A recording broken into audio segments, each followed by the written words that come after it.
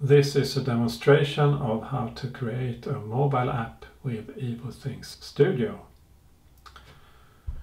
Uh, here on my computer I have EvoThings Workbench running and on my iPad I have EvoThings Viewer running. I will begin with connecting the viewer to the workbench. And to do that I get the connect key. I enter the key in the viewer.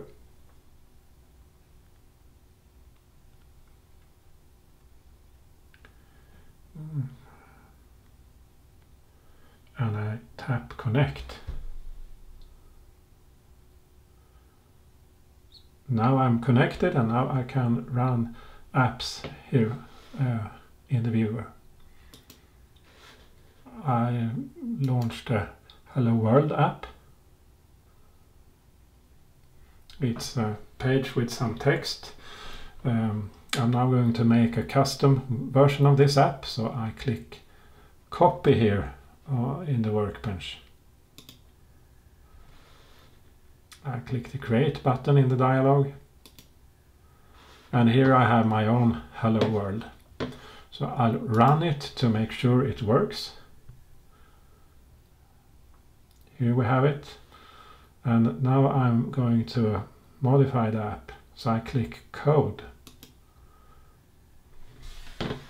Here I have uh, the source code for the app and it's a very simple app. It's just one file with the code. It's index.html I open that file here in, an, in a text editor. So what I will do is I will modify this heading here and it's in this h1 uh, tag. So I will say hello my app. Then I will also modify um, the title tag. It's uh, in the head section of the file. I will make that also say hello my app. And now I press save in the text editor.